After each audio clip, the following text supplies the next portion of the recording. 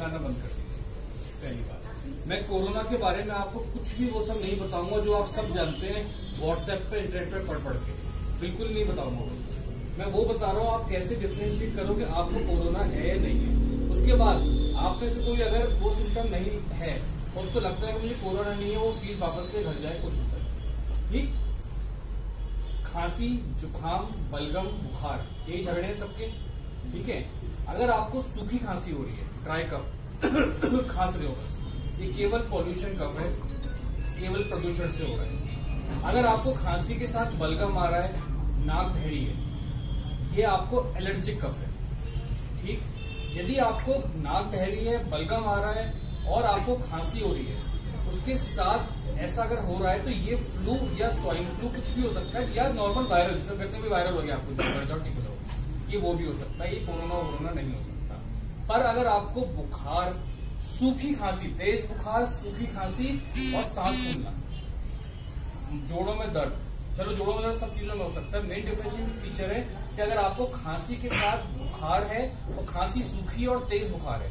तो ही ये कोरोना हो सकता है। ज़रूरी नहीं है कि वो भी हो।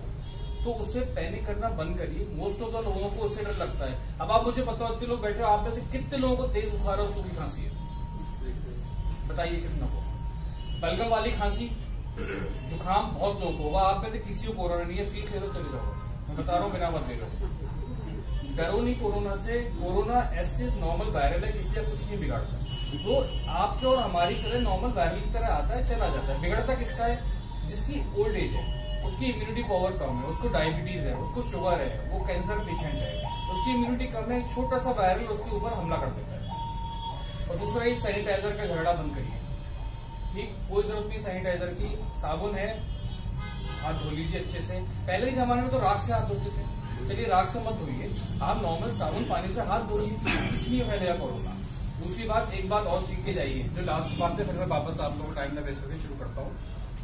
छींकना और खांसना कैसे? ये आज नहीं, आगे तक के लिए। हम कैसे छींकते हैं? चलो, हो गया। ठीक है, इनके ऊपर भी गिरा दी, इनके ऊपर आज के बाद आप सब खांसेंगे या छींकेंगे तो ऐसे। अपनी बाजू।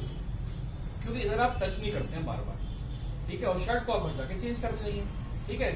करके दिखाइए सब कैसे खांसेंगे छींकेंगे तो कोरोना से मत डरिए। उस समय में सब शांत हो जाएगा रिलैक्स रहिए अवेयर रहिए। कंफ्यूजन है, आइए, घबराइए मत। ठीक है? Thank you so much